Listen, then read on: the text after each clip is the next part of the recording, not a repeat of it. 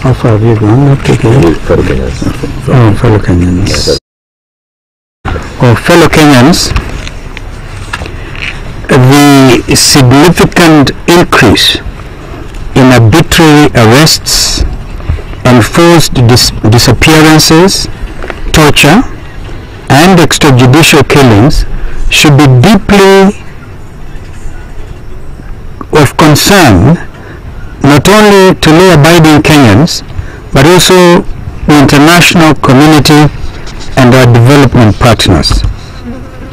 If it was not clear before, the release of the new investigative report, the lifting of the fog, or lawyers say lifting the veil, of the Kenya Police Service motto of utumishi kwa wote, quote unquote, or service to all, quote to quote unquote, has been substituted by utumishi kwa Kenya kwanza, Kenya kwanza, quote unquote.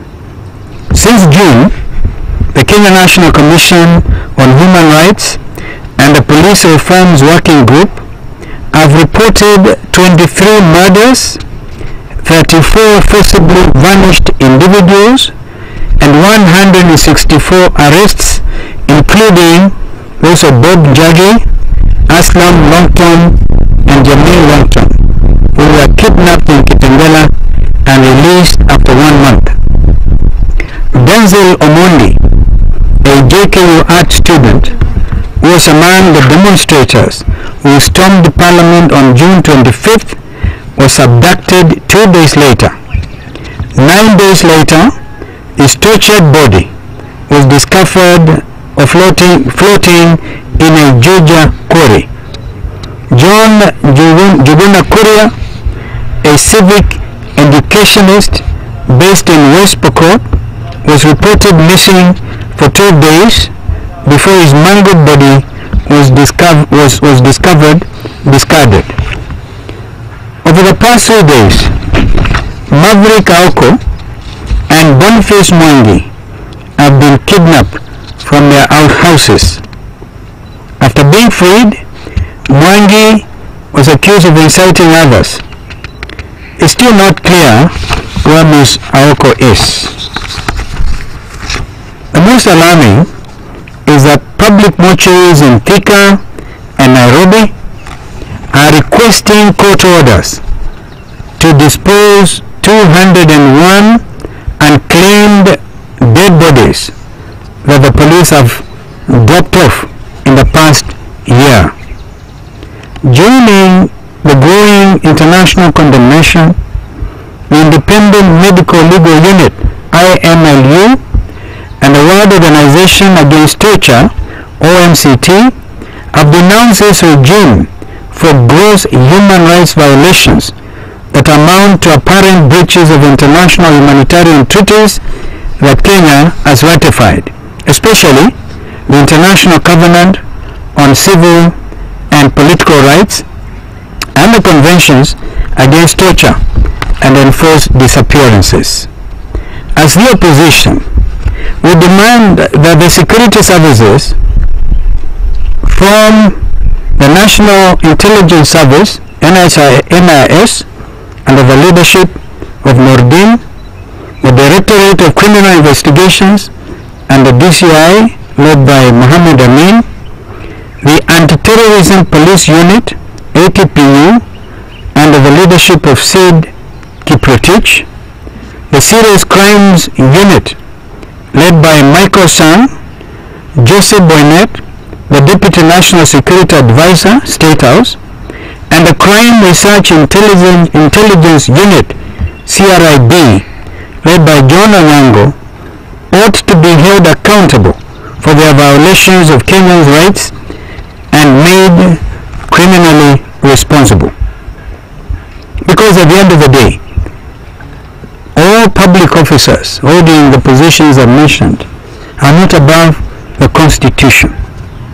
Furthermore, immediate superiors, the Inspector General of the Kenya Police and the Minister for Interior and National Administration, should be held accountable for overseeing a service that has gone rogue with a focus on serving the interests of a few political elite at the expense of Kenyan security.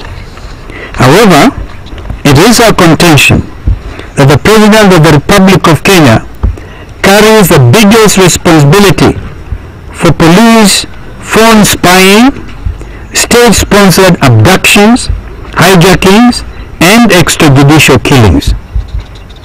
Despite overwhelming evidence, including that of the Deputy President, Mr. Rigathi Gachagua during the impeachment trial, Mr. Ruto continues to claim that he is not aware of any such incidents.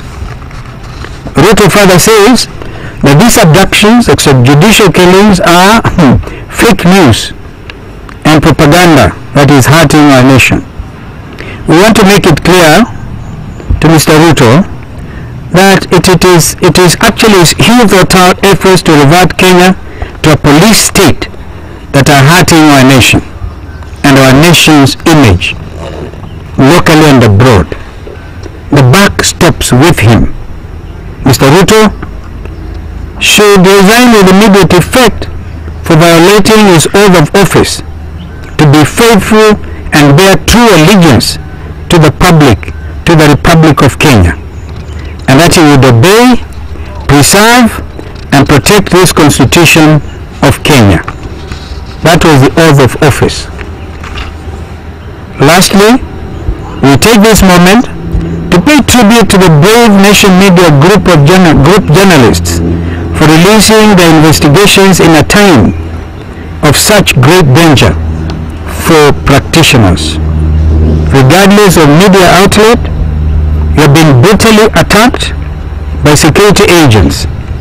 We understand the equipments have been illegally confiscated.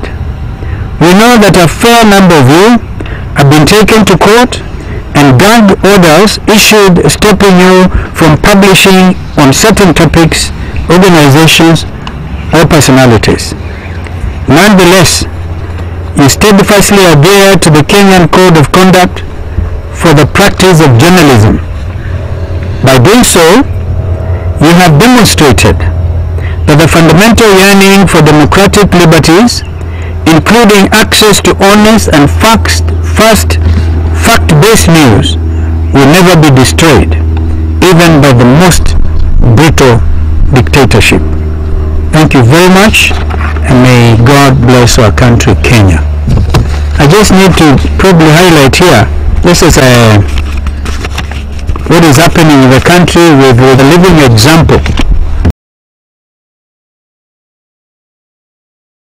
regard to disenfranchising Kenyans, the people of banesa in the northeast and the people of Magarini, for example, have been waiting. I think it's going to the second year, probably over three years. I have here, for example, Mr. Samuel Kombenzai. Yeah. Ah, why don't you stand here? Mm. Mr. Mr. Samuel Kombenzai has been waiting to run for the by-election in uh, Magarini on a wiper ticket, which is an Azimio ticket. Uh, but there's nothing happening. What instead we are witnessing is procrastination, attempts to say, because the most illogical thing I've heard in the last 24 hours is a statement by my friend Weta saying that they want first of all to dispense with the Gachagua hearings before he can forward the names of the nine nominees to President Ruto to Gazette. Because he said if we send out as we acted uh, you know, expeditiously, as my colleague has mentioned, then he said time would have started running. It is obvious they want to prolong this whole thing about establishing a new IEBC. We say it plainly so that even our diplomatic colleagues, heads of missions accredited to Kenya, please take note. I had the American ambassador to Kenya, Meg Whitman, express concern. In fact, I think she even visited the IEBC. It is clear Mr. Ruto does not want an IEBC. I think he should tell us why new IEBC. Asa, Vision ama upinzani, labda mnapanga kuwadhibiti aje mashirika hayo? hao wenyewe wajidhibiti, sababu usipojidhibiti basi itakuwa ngumu sana. Nakushukuru kwa swali lako. Kwa jumla tumekusanya tumekusanyika hapa leo ili tutoe taarifa ambayo tumesoma kwa lugha ya Kiingereza kwamba Wakenya hawaridhiki kamwe kwa sababu ya mambo haya matatu.